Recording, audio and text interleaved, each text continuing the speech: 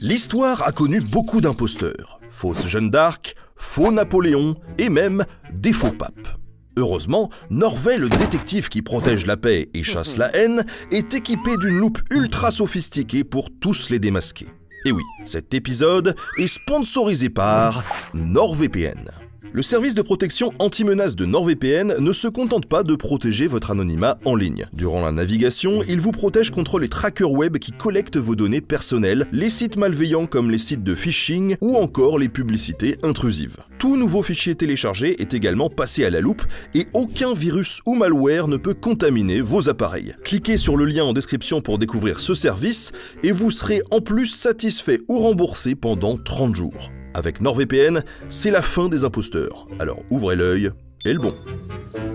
Mes chers camarades, bien le bonjour. Vous connaissez sans doute quelqu'un qui a déjà euh, tout vu, hein, tout fait et qui a toujours raison. Euh, par exemple, euh, cette copine qui vous dit qu'elle descend de Louis XIV. Ou encore votre buraliste qui a un cousin qui connaît un mec qui a visité la zone 51. Bon, dans la vie, il y a des petites impostures. Mais dans l'histoire, il y en a des grandes. C'est d'autant plus vrai qu'un mensonge peut grossir, surtout avec le temps qui passe, les générations et les intermédiaires qui s'accumulent. Certaines personnes ont même gardé une identité alternative pendant des années en jouant leur rôle à la perfection. Mais alors pour quelle raison? Eh bien aujourd'hui, on découvre trois imposteurs célèbres qui ont menti par ambition pour fuir une norme sociale, voire pour défendre une cause essentielle.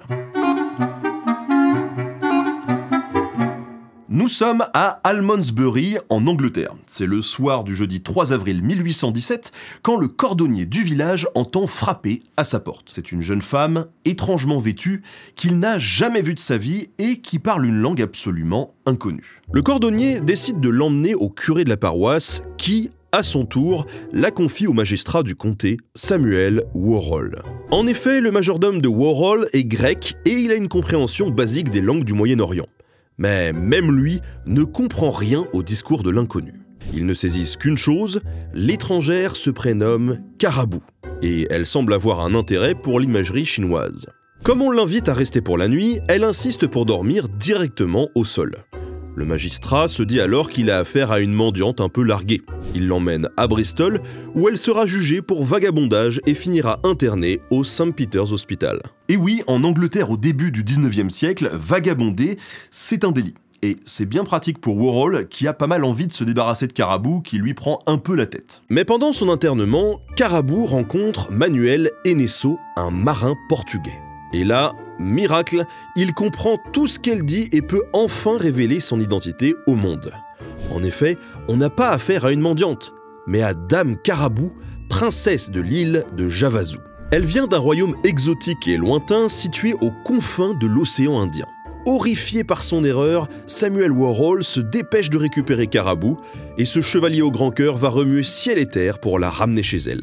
Quoi qu'en fait, non, hein, ça serait vachement mieux de profiter de l'aubaine pour faire un truc très à la mode, à savoir utiliser cette femme exotique comme un trophée à exhiber à la haute société du patelin. Eh Pendant plus de dix semaines, Carabou devient alors la favorite des dignitaires locaux. L'un de ses nombreux visiteurs, qui a beaucoup voyagé dans les Indes orientales, parvient à converser avec elle en langue des signes. Et il affirme que son histoire est extraordinaire. La princesse a été capturée par des pirates de l'océan Indien et c'est seulement après un long voyage en arrivant au canal de Bristol qu'elle a trouvé la force de sauter par-dessus bord pour le plus grand bonheur du petit cordonnier d'Almondsbury. D'ailleurs, ce récit est soutenu par les talents de Carabou. Elle écrit de nombreuses lettres dans sa langue que personne ne comprend, mais elle a aussi l'habitude de tirer à l'arc, de nager entièrement nue dans un lac et de prier son dieu inconnu, Allah Tala une variante de Allah Ta'ala, Allah l'exalté, l'un des noms de Dieu dans l'islam.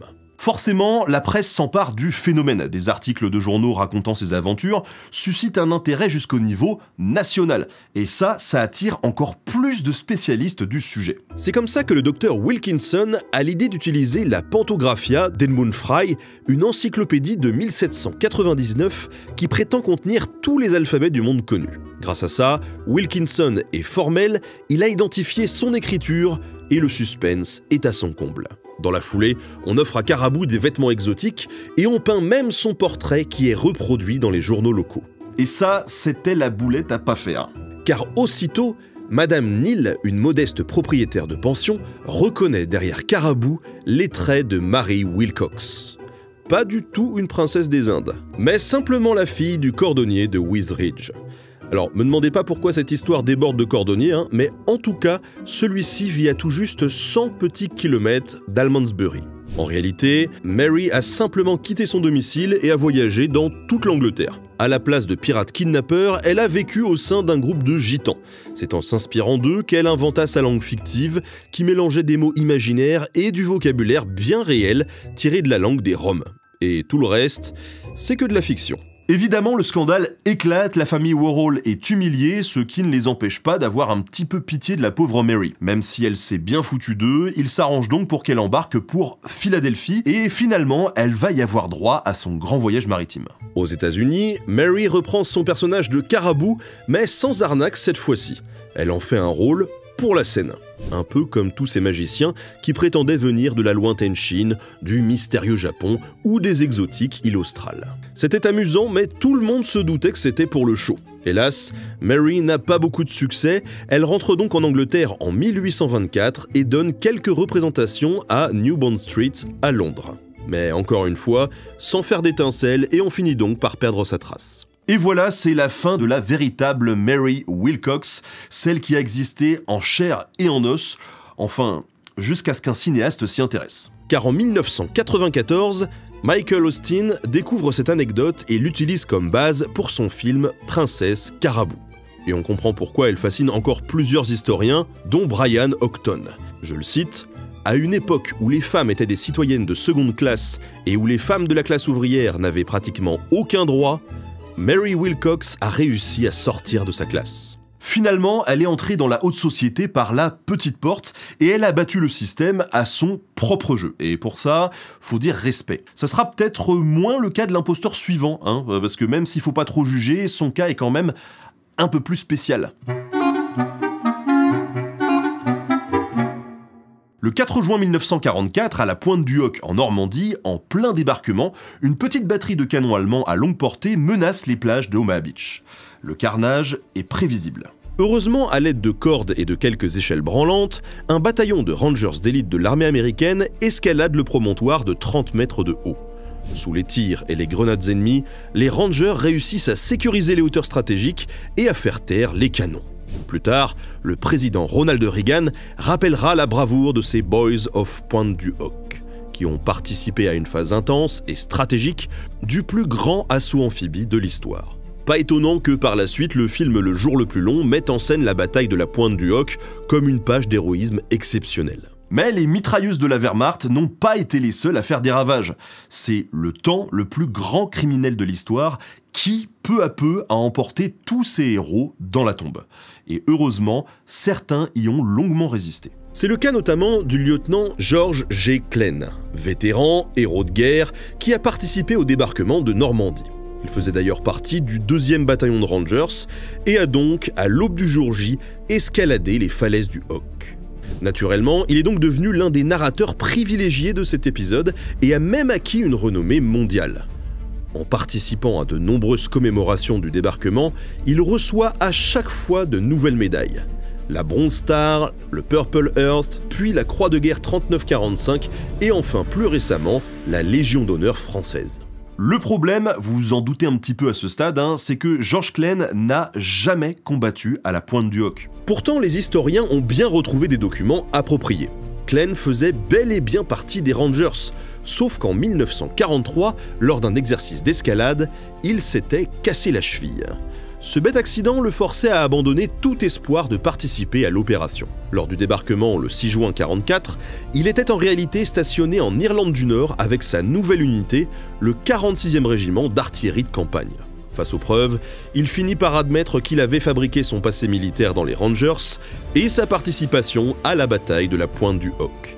Et en 2007, lors d'une nouvelle cérémonie, il avoua, face aux Normands, Je ne suis pas un héros, les vrais héros sont ceux qui ont perdu la vie ici. Après ça, âgé de 98 ans, il ne répondit plus aux appels et ne fit plus aucune apparition en public. Alors comme on dit, bon, faut avouer à moitié pardonner, ça c'est pas à moi de le dire. Si c'était un imposteur absolu euh, total, forcément vous m'auriez entendu gueuler. Mais là, c'est un peu plus compliqué. Car Klein a bien contribué à l'effort de guerre. Après l'entraînement et la blessure, il a été redéployé de 1944 à 1945 et son régiment a participé à la libération de la France. Klein a d'ailleurs été blessé durant les combats en Moselle le 17 novembre 1944. Personne n'aurait à rougir de ses états de service, surtout dans une campagne qui s'est avérée longue et difficile. Certains peuvent se dire qu'il avait la rage de voir les copains partir vers la mort pendant que lui restait bloqué en Irlande. Certains verront dans sa mythomanie un genre d'hommage, d'autres une injure et une insulte. Honnêtement, faites-vous votre propre idée, hein, parce que George Klein avait mené le juste combat, et c'est son imposture qui est venue tout gâcher derrière. Ce qui n'est pas le cas de notre héros suivant, une personne dont le mensonge était justement destiné à servir une cause plus grande que sa petite personne. Canada, dans les années 1930, un natif américain connu sous le nom de Gray Hall devient célèbre pour son travail d'écriture et de conservation, en mettant en garde contre les dangers des industriels, de l'exploitation forestière et de la fourrure. Gray Hall était certainement l'autochtone le plus célèbre de son époque. C'est en 1931 qu'il sort un livre de nulle part, La dernière frontière. Le titre attire rapidement les critiques élogieuses. Surfant sur sa soudaine célébrité, Gray Hall enchaîne. Il écrit Un homme et des bêtes en 1934, Sajo et ses castors en 1935, et enfin Les récits de la cabine abandonnée dès 1936. À chaque fois, les mêmes points communs. Dans ses livres comme dans ses articles, l'auteur met l'accent sur la conservation de la nature sauvage canadienne menacée par l'extraction des ressources naturelles. Gray Hall est photographié par l'un des maîtres du noir et blanc, Youssouf Karch, avant de carrément devenir la vedette de plusieurs films le gouvernement finit par s'intéresser à cet autochtone passionné de protection de la nature et le nomme à la tête d'un programme de conservation des castors dans les parcs nationaux. Gardien d'animaux au parc national du Mont Riding, il se charge ensuite d'établir une colonie de castors dans le parc national de Prince Albert. C'est là-bas qu'il écrit la plupart de ses livres et confirme son ascension. Il a par exemple pu dîner avec le Premier ministre du Canada, puis son travail se diffusant dans toutes les îles britanniques, il a enchaîné les tournées de conférences tout au long des années 1930 jusqu'à obtenir en 1937 une audience privée avec le roi George VI et la future reine Élisabeth II. Bref, tous se captivent pour cet euh, homme sauvage surgi des profondeurs de la forêt canadienne qui subjugue absolument tout le monde. Sauf qu'en 1938, il meurt d'une pneumonie fulgurante en Angleterre, bien loin de chez lui. Mais Bizarrement, c'est là que les choses deviennent assez intéressantes. Peu de temps après sa mort, le North Bay Nuggets publie un article explosif. Gray Hall n'était en fait pas un natif américain.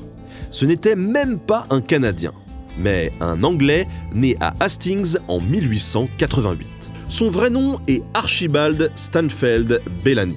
Déjà enfant, il était fasciné par la nature, les animaux et les peuples autochtones d'Amérique du Nord. À 17 ans seulement, il part au Canada à la recherche d'une nouvelle vie. Et à peine arrivé, le voilà qui s'aventure aux alentours du lac Témiscamingue, qui marque la frontière entre l'Ontario et le Québec. Il s'invente alors sa propre histoire. Fils d'un Écossais marchand de fourrure et d'une femme apache, il a grandi dans le désert, loin de toute civilisation. Son nom est Hall, Grey Hall.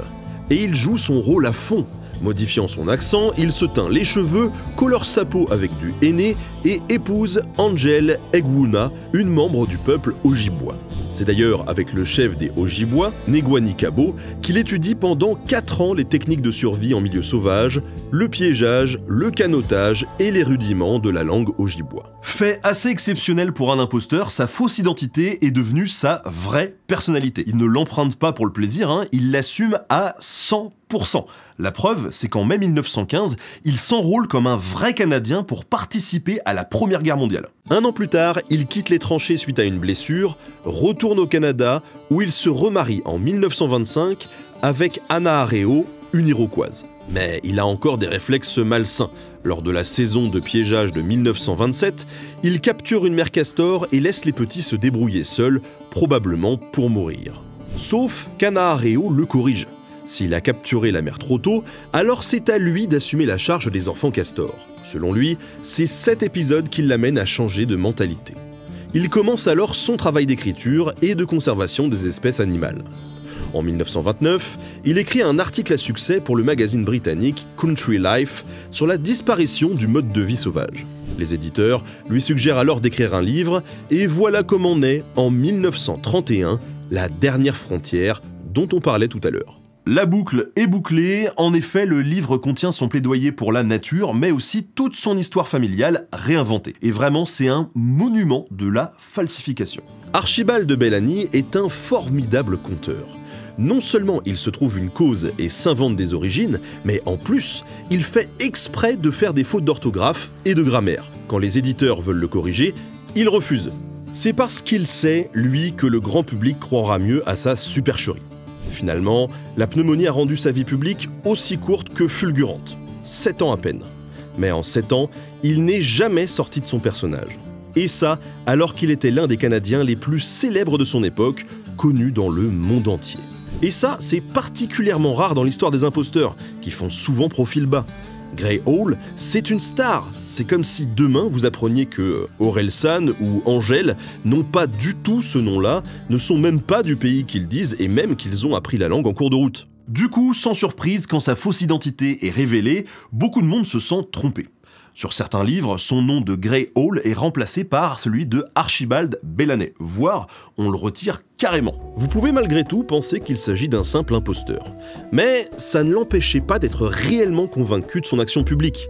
D'ailleurs, les rares personnes qui savaient la vérité, c'est-à-dire presque tous les indigènes qu'il rencontra, ne l'ont jamais dénoncé publiquement. Pour eux, son message était important et son soutien pour leur cause bien concret. Il faut dire que la guerre mondiale et la croissance économique canadienne faisaient passer à la trappe la question de la nature sauvage. Du coup, quand le mouvement écologiste apparaît à la fin des années 60, il s'inspire directement du travail de Grey Hall. Et c'est pas une façon de parler. Hein. Prenons par exemple deux jeunes garçons, Richard et David, qui, dans les années 30, assistent à une conférence de Grey Hall à Leicester. Ce sont en réalité les frères Attenborough. Si en 1993, Richard est connu comme acteur de Jurassic Park, c'est surtout le réalisateur en 1999 du film Grey Hall avec Pierre Brosnan en vedette. Rien que ça. Quant à David, il est devenu l'un des experts de la faune les plus célèbres du monde britannique. Comme quoi, tout est lié, faux autochtones dans les faits, mais vrais défenseurs de la nature dans l'âme. Bien sûr, l'histoire pullule encore d'autres imposteurs, mais euh, voilà, ceux-là ils m'ont bien plu tout simplement parce que chaque histoire est assez complexe à sa manière. Usurpation d'identité, lâcheté, fuite en avant ou jeu de pouvoir contre le système, hommage incarné, voire sacrifice pour une grande cause. Alors c'est sûr, hein, ceux qui euh, sont là que pour la gloire ou la richesse se retrouvent bien minables quand le masque tombe. Mais les autres, ceux qui ont fait du masque un vrai symbole pour une belle lutte, bah je leur jetterai pas la pierre. Et voilà, cet épisode est terminé, j'espère qu'il vous a plu. Pour ça, on peut remercier Kiran Hanslow de la chaîne Aeronaut Histoire. Je vous mets son lien juste là, en description, en commentaire. Alors, vous, dites-moi quelle est votre histoire d'imposteur préférée, et éventuellement, est-ce que vous en connaissez d'autres que vous aimeriez voir en vidéo? Hein, Dites-le moi, je jetterai un petit coup d'œil, et puis euh, on verra si on peut en faire quelque chose. N'hésitez pas non plus à lâcher un petit pouce, hein, un petit commentaire, un petit partage. Et à très bientôt sur Nota Bene. Salut